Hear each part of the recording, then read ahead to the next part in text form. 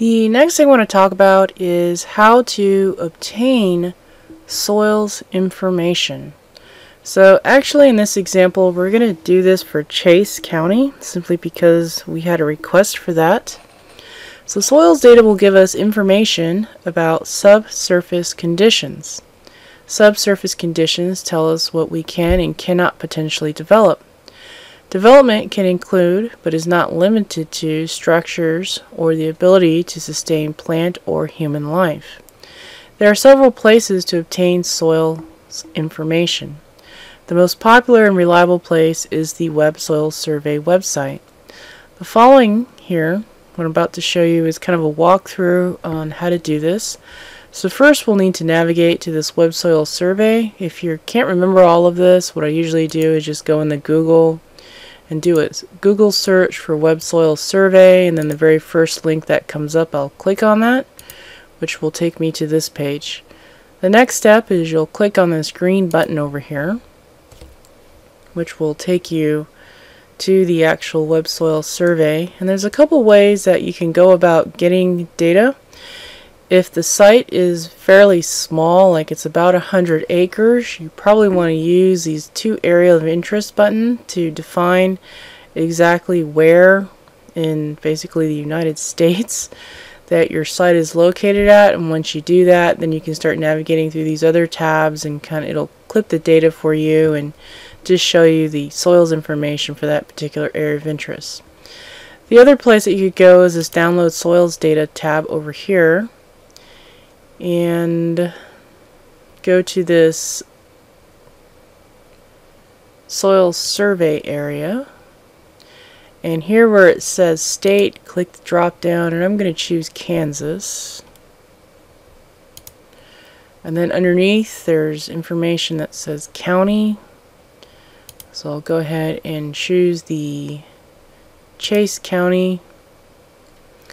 And then here it says only show soil survey areas updated since, so you could probably click this thing. Um, I usually just leave that blank and you can sort it by certain things, so maybe we'll sort it by area symbol. So KS017 is our area symbol. We could also do it by name. We also have the option to most recently added. So we'll just do it by name. We also want to include the template database. So once you have all of this stuff here selected, over here to the very far right side there should be a link. I'm just going to go ahead and click on that link. So I'm going to download that into my source directory. Let's call it soils. Actually, it wouldn't go inside Marlette Park. It's a totally new project, so I'm just going to right click here and choose copy, right click here and choose paste. And I'm going to rename this to Chase County.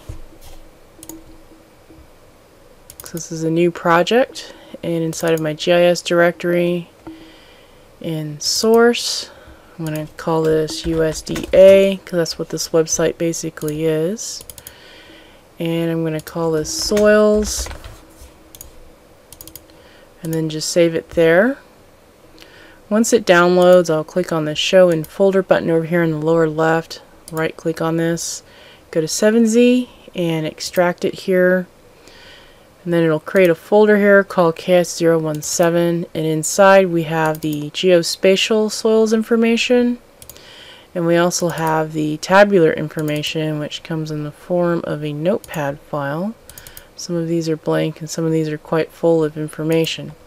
So somehow you'll have to find a way to merge this data all together to have it in the same place as this data here. So let's just take a look at this really quick in ArcGIS. I'm going to go ahead and just turn all these off. I'm going to just use the same one as the Marlette Park. I'm probably not going to keep it in my Marlette Park. Um, once I'm done examining it, I'm going to likely remove it from my data frame. But I'm just going to use my Marlette Park data frame just to take it, just, you know, kind of check it out really quick to make sure that I actually got what I wanted. Turn off my sewer points and turn off that one there. So now you can see I have a blank screen here. Go back to my select thing here. Right click on this, choose add data. And like I said, I'm just using my Marlette Park map just to check out the data. I'm not going to keep it in here. And notice that I don't have a folder connection for this. So I'll need to go back up here to folder connections, create a new folder connection, and I'm going to navigate out to where my Chase County stuff is. So here, this is the path that I want. I'm going to go ahead and click OK. So now I have a new folder connection. So if I navigate up, you can see that I have two folder connections. I have my Chase County double click on that, go into my source, USDA, soils, spatial, and I'll pretty much just select everything that has a SHP file extension on the end and choose add. It's telling me that the spatial reference doesn't match. We know that. We just want to take a look at the data. We're not going to keep it actually on this data frame. And if you notice, we really can't see anything, and that's because Chase County is not in the same county as Riley County. So if you run into that, you can always choose one of these data pieces, right click on it, and click on Zoom to Layer. It'll take you to where that layer is located. Notice we have a lot of information here. We have some points. So if I right click on this and go to Open Attribute Table, we can see exactly what those points potentially are. This one's blank, there's nothing there, so let me just turn those points off. Let's take a look and see what this is all about. Looks like it might be another blank one, so we'll turn that off. And this one I think is probably GUL, probably stands for gully. Let's turn off everything else. Yeah, they're probably gullies. Let's go ahead and turn this on. Check out the attribute table. We can see there's some information. Notice that it doesn't have everything that we need here. So we are likely going to have to find that data and add that to our table here.